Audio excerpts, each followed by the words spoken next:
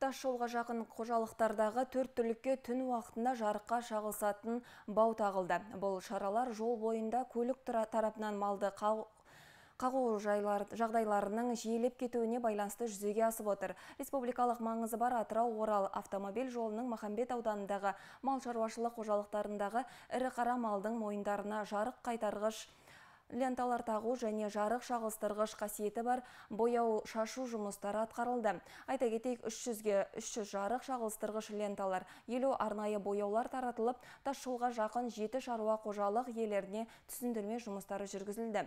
Сондай-ақ меншігінде ірі қарасы бар 20 тұлғаға да арнайы баулар мен бояулар таратылды.